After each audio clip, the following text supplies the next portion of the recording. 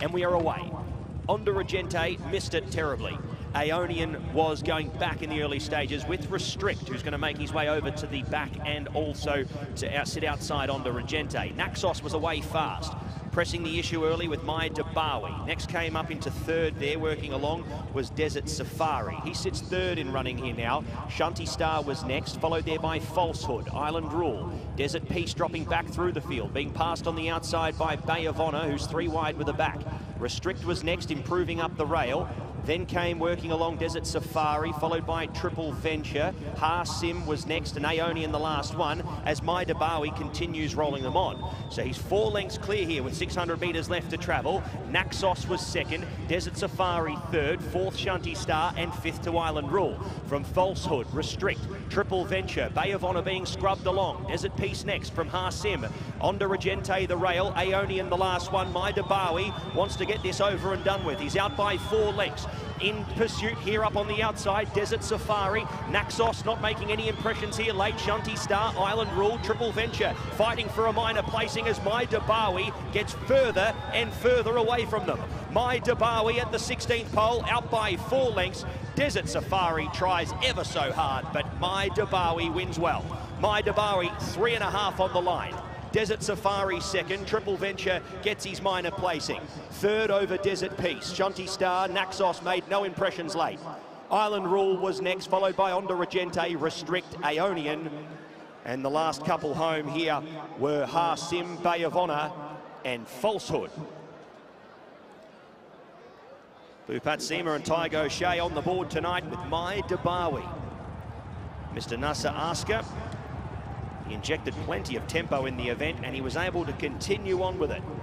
Off the rating of 90 here this evening, the five-year-old son of Dubawi is too good.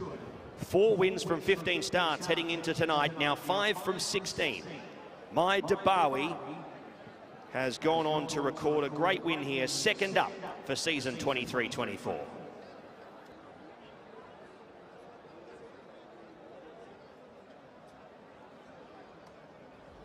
That's a very impressive performance from My Dubawi.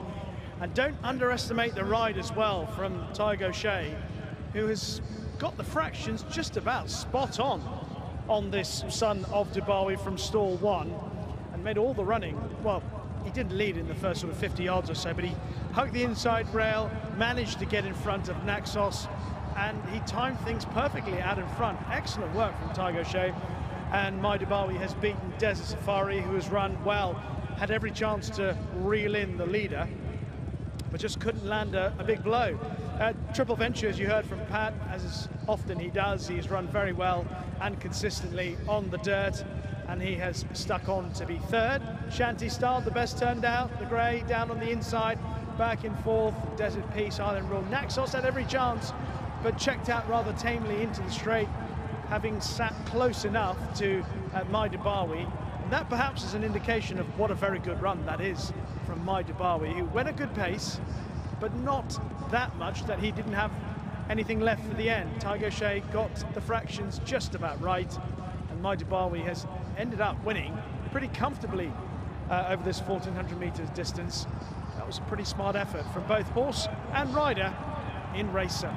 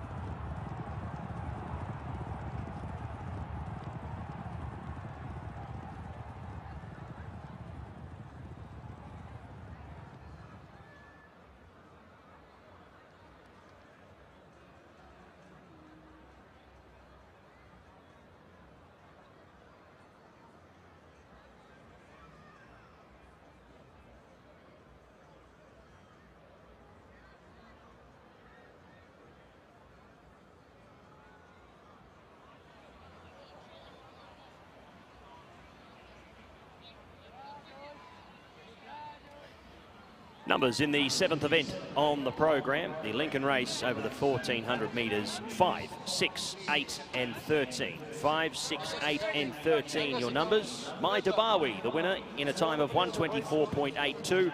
Margins, three and a half by three lengths, 5, 6, 8 and 13. Race 7.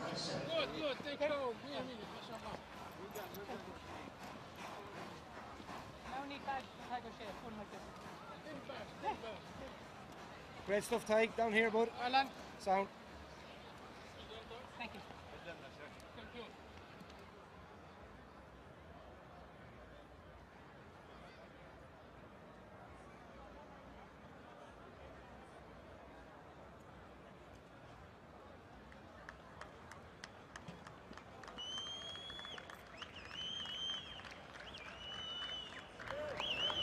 Time to welcome back the winner of race seven, the Lincoln race. Trained by Bhupat Seemar, owned by Nasser Asker, and brilliantly ridden by Tadhg O'Shea. A big round of applause for My Dubawi.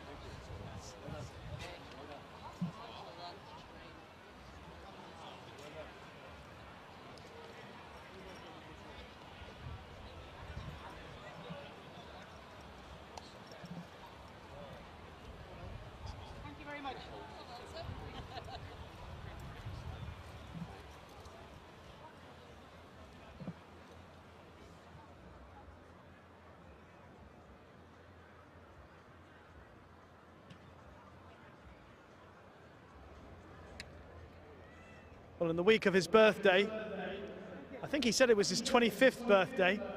I think that was what you said earlier, Ty. I have to say, that's a. I know sometimes we talk about runners that come from the back being brilliant rides, but I thought in terms of timing, that was terrific in terms of getting the fractions right. Uh, look, uh, when you get stall one around here and you've got early like the horse he has, it uh, makes my job easier. Um, you know, he, he's a horse with a lot of talent. He won his first race for our stable last year, and I told his trainer I thought he'd be a Jebel Ali sprint horse, but he's fragile. The, the team has been do a great job. Um, he's not the soundest horse, you know, so. Um, but he's a high-class horse on his day, and when he puts it together like that, he's very good.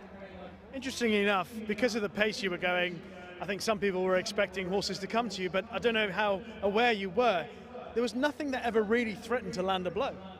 And I, I, promise you, when it works, it, it's great. But like, I was half speeding on him, and I couldn't, I couldn't get him to go any slower. we ran in a sprint, uh, his first run for us this season at Jebel Ali, and I was, I was back around his tailboard then. So he's, um, he's a horse with an awful lot of ability, and um, I just thought if I could get him out and get him out, in fr- because he works with the good horses at home, but he just hasn't delivered, you know, as much as we think. But to be fair to him, he is fragile. He has his issues, but when he's good, he's very good.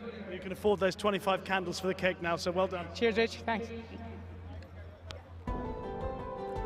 And correct weight is given. Race number seven.